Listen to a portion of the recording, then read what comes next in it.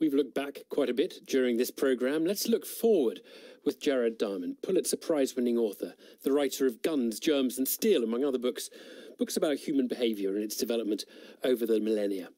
In May last year, at the beginning of the pandemic, he wrote about how the world has two options to join together to fight the virus or instead continue our doomed attempts to solve global problems one country at a time. Jared Diamond joins us and appreciate your time.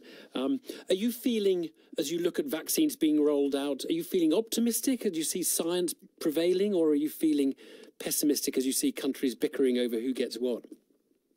I will exasperate you as I exasperate most interviewers. Um, it's a middle answer. I'm more optimistic than I was two months ago before I got vaccinated. On the, on the other hand, do I think that problems are going to go away? Of course not. No, because we don't know how long the protection of the vaccines will last. We don't know how people will behave in other countries. Um, we don't know about new variants. So it's better than it was in January, and it's less good than it was a year ago. Did you understand how long it was all going to last, Jared? Because uh, you know, I, I, guess one of the things I had in my mind a year ago when we entered the first lockdown was lockdowns last for maybe three weeks and then you've nailed it and you can begin to drift out again. And it's really not turned out like that at all. No, and I don't think anybody, uh, if anybody made a prediction a year ago um, one should immediately have said they're liars because you can't make predictions when there are big unknowns. The big unknowns included the behavior of people. Here I am in California, and California is a rational state, but there are lots of Californians who refuse to wear masks and proceed to get infected. So that was unpredictable. The properties of the virus were unpredictable. The properties of vaccines unpredictable.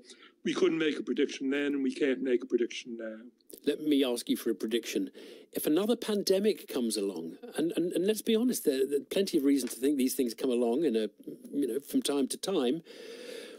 Do you think we'll, in the West, deal with it better next time now we've had this experience? Well, that's that's a key question. Let me first respond to your beginning with if if another pandemic um, comes on. That's like asking me if you, Jared, will die before the age of 150. Of course, I'll die before the age of 150. And of course, new pandemics will come on. The reason I say that is that the emerging diseases of the last 50 years, like AIDS and Ebola and Marburg and SARS, they're all diseases of animals that jumped from from animals to humans, um, as was the case with COVID. And as long as we have contact with animals, there are going to be more jumps.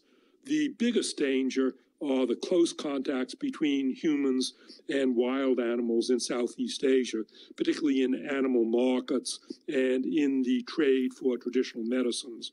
That's how SARS jumped. That's probably how COVID jumped. So when you say if there are future diseases, of course there can be future diseases. Mm. But we, I, I guess I'm interested in whether we will be more we, we, will be prepared for the next pandemic much better than the one because we'll have a recent memory of one. Whereas there are lots of other things that may hit the world, and we may not be prepared for those because we won't have had a recent experience of them. Both of those things are true, and let, let me give you um, two models. One model is how I behave. I do my field work on the island of New Guinea in the jungle, um, and I've had many close calls. From my work in New Guinea, I've learned an attitude of what I call constructive paranoia. Um, paranoia is a disease, um, an unfortunate condition, which is um, generally unfortunate. But in New Guinea, you got to be paranoid. You got to think of everything that can go wrong.